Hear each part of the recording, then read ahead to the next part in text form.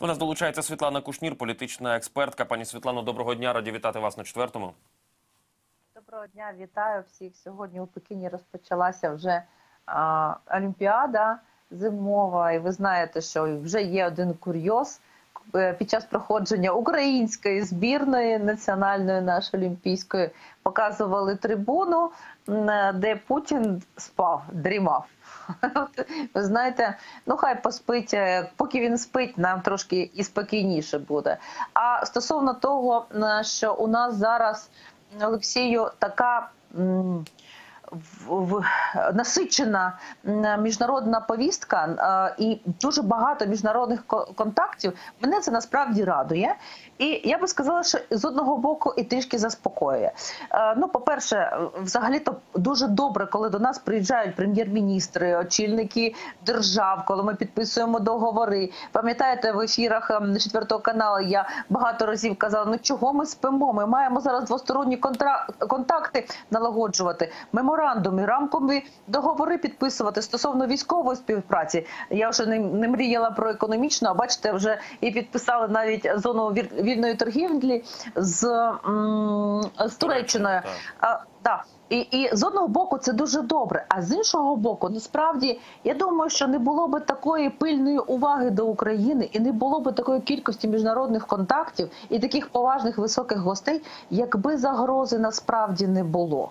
Тому з одного боку ми розуміємо, що президент Зеленський намагався заспокоювати суспільство, кажучи, що не така страшна е, е, ситуація з агресією. А з іншого боку, якщо зараз ми на міжнародній арені зможемо вичавити, ну вибачте, що таке слово, максимум з цієї ситуації, це буде добре. Але ви знаєте, що сьогодні пройшла ще одна новина, вона не дуже добра. Е, Все ж таки нашу співпрацю з НАТО Угорщина знову заблокувала. І отут уже питання впливу Російської Федерації. Ви знаєте, що надзвичайно сильне, потужне проросійське лобі є в Європейському Союзі. І ви знаєте, що значний вплив якраз на саме Угорщину мають зв'язки цього і це лобі проросійське.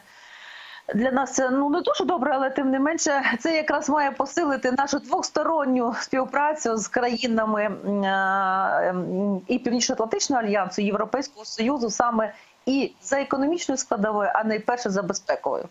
Ну, от повертаючись до слів Дмитра Кулеби, а, нагадаю, він так достатньо оптимістично і, е, і переможно підбив підсумок цього тижня. каже, Путін залишився наодинці.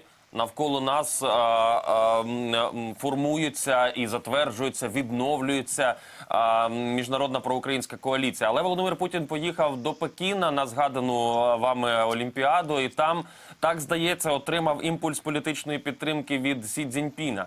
А зокрема, той підтримав його ініціативи і пропозиції по нерозширенню НАТО. Вони обмінялися взаємними а, політичними оцінками. Як видається вам, наскільки а, їхні контакти вони десь можуть підсилити Росію? Чи це такий локальний азійський блок, е, формування якого в принципі треба було очікувати? Ви знаєте, так чи інакше, це є посилення позиції Російської Федерації, і ми про це говорили. Ми говорили, що поки два великих тигри борються, ну про перемовини Байдена і Путіна, про перемовини Російської Федерації і Сполучених Штатів Америки, то третій тигр чекає, вичікує на березі. І цим тим третім тигром був звичайно Китай. Е, Сьогоднішня новина, сьогоднішні заяви представників Китайської Народної Республіки стосовно нерозширення НАТО на схід і всього іншого. Ну насправді це, це не дуже дружній крок в нашу сторону, скажімо чесно. А, але тим не менше, е, це нас має більш знаєте, так е, згуртувати і сконцентрувати на співпраці і роботі з тими країнами і з тими впливовими важелями для тиску на Російську Федерацію. Недавно у нас навіть був представник. е, Ми, ми, ми бачили вчора. Здається, вчора е, чи позавчора вже знаєте, в цій вирениці е, е, гостей. Прем'єр-міністр, здається, е, Ні- Нідерландів до нас Так, Марк приїжджав. да? Дійсно був у Києві. Дійсно так. Да, да, от так, от якраз ви знаєте, ця, ця країна, яка з одного боку завжди була дуже часто і багато була прихильна до Російської Федерації, і постраждала одна з країн, які постраждали тоді від збитого, коли малазійський Боїнг був збитий, велика кількість громадян цієї країни постраждала. От ось ця країна теж може бути таким агентом впливу і тиску на Російську Федерацію. І нам всі ці контакти зараз треба швидко, швидко, швидко фіксувати. Я сподіваюся, що в і МЗС, і офіс президента, не дивлячись на те, що я являюся їх системним критиком, вони зараз цю ситуацію оберуть на користь України. Я я на це дуже сподіваюся. Хоча у нас очільник офісу захворів, але тим не менше є ж і інші представники офісу, які мають працювати на благо української держави, тим паче.